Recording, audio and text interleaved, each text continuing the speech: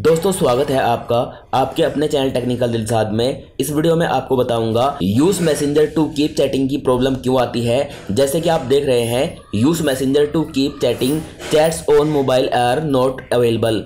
अगर ये प्रॉब्लम आपके पास आ रहा है तो ये प्रॉब्लम क्यों आ रहा है और कैसे आप इस प्रॉब्लम को ठीक कर सकते हैं, ये मैं आपको इस वीडियो में बताने वाला हूँ। और इस वीडियो में आपको इस प्रॉब्लम का प्रॉपर सोल्यूशन मिलने वाला है।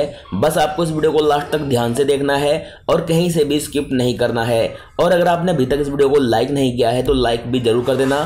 चैनल पर अगर आप नए हैं तो चैनल को सब्सक्राइब ज़रूर कर लेना। तो जल्दी से वीडियो को स्टार्ट कर लेते हैं। सबसे पहले तो मैं आपको बता दूँ, ये जो प्रॉब्लम है, आपको क्यों आती है? अगर आप अपने फेसबुक ऐप में किसी को चैट करने का प्रयास करते हैं तो फेसबुक ऐप में अगर मैसेंजर ऐप नहीं होता है तो ये प्रॉब्लम आपको आ सकती है। जैसे कि अगर आप यहाँ पर किसी भी ब्राउज़र में अपना फेसबुक ओपन करते हैं, जैसे कि मैं क्रोम ब्राउज़र में अपना फेसबुक ओपन कर रखा है, जैसे कि मैं फिर से आपको शुरू से ओपन करके दिखा देता हूँ क्रोम ब्राउज़र में। मैं यहाँ पर सर्च करता हूँ फेसबुक जैसे ही मैंने फेसबुक सर्च किया तो यहाँ पर हम तो यहाँ पर हमारे सामने फेसबुक साइट आ चुकी है। मैं यहाँ पर कुछ समय के लिए होल्ड करने के बाद ओपन इन न्यू टैब पर टच करने के बाद, ब्राउज़र में ही फेसबुक ऐप ओपन कर लिया है। अब हमारा जो फेसबुक ऐप है, वो ब्राउज़र में ही ओपन हो चुका है।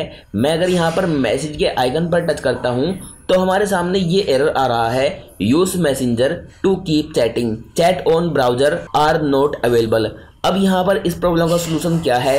इस प्रॉब्लम के कई सारे सोल्यूशन है और एक नहीं, अनेक तरीकों से ये प्रॉब्लम ठीक हो जाती है। पहले हम समझ लेते हैं हमें प्रॉब्लम क्या है।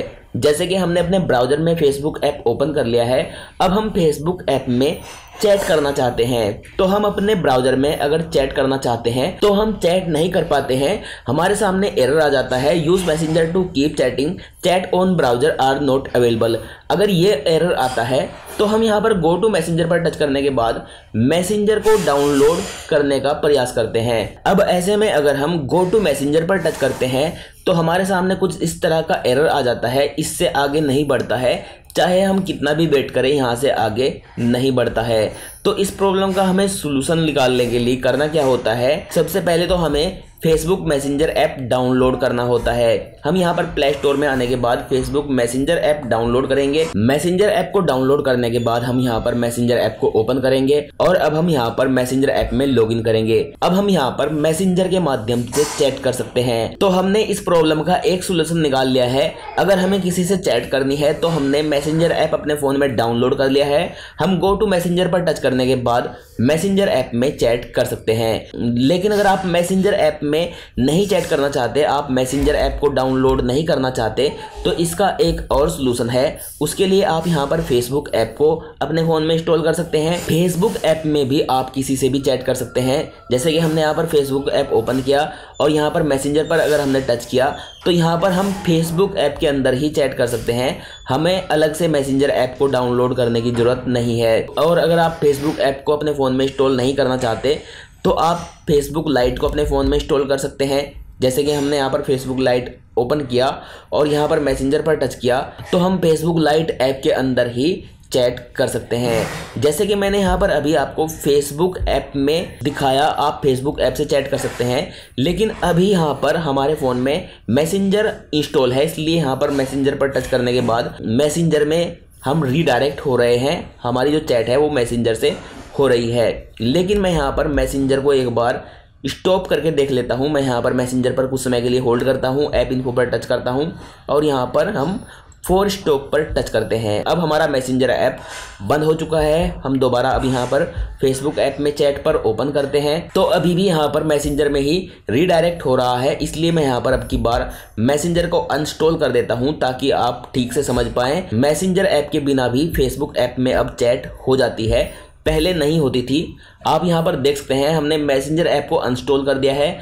और अब मैं यहाँ पर अगर मैसेंजर पर टच करता हूँ तो आप यहाँ पर देख सकते हैं, अब ये जो चैट है फेसबुक के अंदर ही हो रही है। हम यहाँ पर फेसबुक के अंदर ही किसी भी व्यक्ति से चैट कर सकते हैं। जैसे कि मैं यहाँ पर हाई लिख कर सेंड कर दिया है, वो भी फेसबुक एप्लीकेशन से। अब हमने इस प्रॉब्लम को ठीक करने के कई तरीके सीख लिए हैं। जैसे कि आप मैसेंजर ऐप को इंस्टॉल कर सकते हैं फेसबुक ऐप को इंस्टॉल कर सकते हैं फेसबुक लाइट एप्लीकेशन को भी आप इंस्टॉल कर सकते हैं। लेकिन वीडियो के लास्ट में मैं आपको सबसे गजब तरीका बता रहा हूँ, जिसके द्वारा आपको किसी भी एप्लीकेशन को अपने फ़ोन में इंस्टॉल करने की ज़रूरत नहीं है।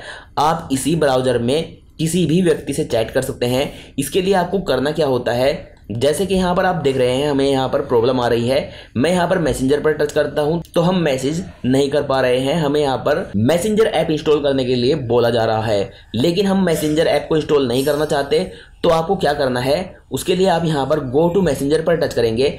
अब यहाँ पर हमारे सामने कुछ इस तरीके का इंटरफेस आ रहा है। इससे आगे यहाँ पर नहीं बढ़ रहा है। इसमें आपको एक ट्रिक लगानी पड़ती है। थोड़ा सा दिमाग का उपयोग करना पड़ता है। इसके लिए आप यहाँ पर थ्री लाइन पर टच करेंगे और अब नीचे की तरफ़ आप यहाँ पर डेस्कटॉप साइड पर टच करेंगे। अब यहाँ पर हमारा जो फ़ोन है डेस्कटॉप साइड में हो चुका है।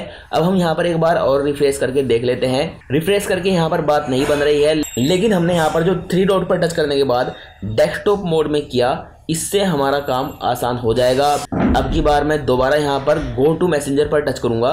तो आप यहाँ पर देख सकते हैं डेस्कटॉप साइट पर करने से हमारा जो फेसबुक ऐप है, वो डेस्कटॉप साइट में ओपन हो चुका है।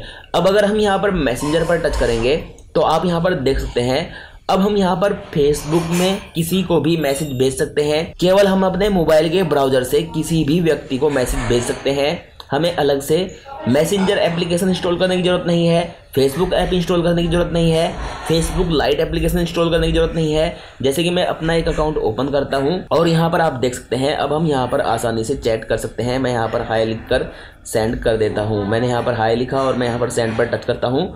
तो आप यहाँ पर देख सकते हैं, हमने बिना किसी मैसेंजर ऐप के, बिना किसी फेसबुक लाइट ऐप के, बिना किसी फेसबुक ऐप के मैसेज कर दिया है। हम इस तरह मैसेज पढ़ भी सकते हैं और मैसेज भेज भी सकते हैं। उम्मीद है आपको वीडियो पसंद आया है। अगर आपको वीडियो पसंद आया है तो इस वीडियो को लाइक ज़रूर कीजिएगा। मैं मिलता हूँ आपसे अगली इसी तरह की नॉलेजेबल और इंटरेस्टिंग वीडियो में। तब तक अपना ख्याल रखिएगा और हमारी यह वीडियो देखने के लिए आपका तहे दिल से शुक्रिया।